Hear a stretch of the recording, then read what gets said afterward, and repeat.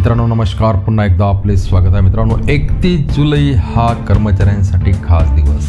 जाणून घ्या केव्हा होणार टी ए वाढीची घोषणा.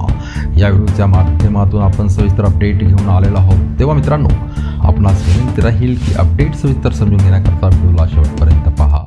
चॅनलवर नवीन असाल तर मित्रांनो न नवीन अपडेट सर्वात आधी मिळवण्याकरता आपल्या चॅनलला सबस्क्राईब करायला विसरू नका.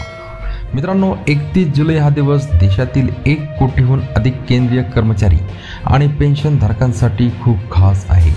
या दिवशी त्यांच्या मागे भत्त्यात किती वाढ होणार आहे जवळपास ठरवले जाईल. वास्तविक एक जुलैपासून वाढवणारा डी ए हाईक आणि D R हाईकचा A I C P I निर्देशांक क्रमांक एकतीस जुलैला येईल. त्यानंतर त्यामध्ये किती वाढ होणार हे ठरवण्यात येईल.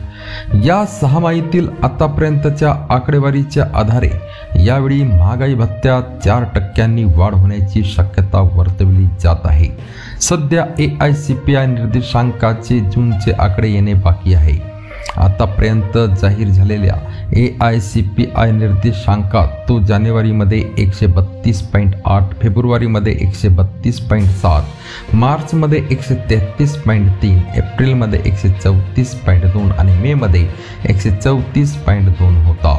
अशा परिस्थितीत यावेळीही महागाई भत्त्यात चार टक्के वाढ होण्याची शक्यता केंद्रीय कर्मचारी आणि पेन्शनधारकांना आहे.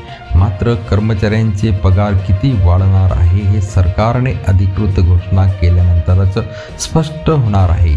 खरं तर कामगार मंत्रालयाने जारी केलेल्या A I C P I डेटाच्या आधारावर केंद्र सरकार दर सहा महिन्यांनी आपल्या कर्मचाऱ्यांचा महागाई भत्ता आणि पेन्शनधारकांच्या महागाई सवलतीचा आढावा घेते आणि वाढवते. या आधारे पहिली दरवाढ जानेवारी महिन्यात आणि दुसरी दरवाढ जुलै महिन्यात होते. साधारणतः जानेवारीचा महागाई भत्ता होळीच्या आसपास आणि जुलैसाठी दिवाळीपूर्वी रक्षणाबंधनापूर्वी जाहीर केला जातो.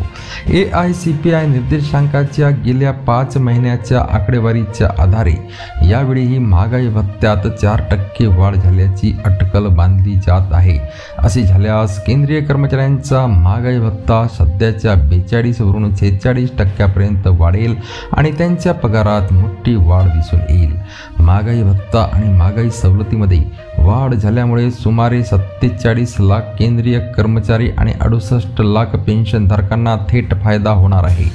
केंद्र सरकारने यावर्षी होळीपूर्वीच महागाई डी ए इन्क्रीज भत्त्या चार टक्क्यांनी वाढ केली होती. त्यानंतर ते अडतीसवरून बेचाळीस टक्के झाले आहे. अशा परिस्थितीमध्ये यावेळी सुद्धा डी ए आणि डी आरमध्ये चार टक्के वाढ झाली तर ती वाढून छेचाळीस टक्के होणार आहे. तर मित्रांनो पुन्हा भेटूया पुढच्या व्हिडिओमध्ये नवीन अपडेट घेऊन. तोपर्यंत धन्यवाद.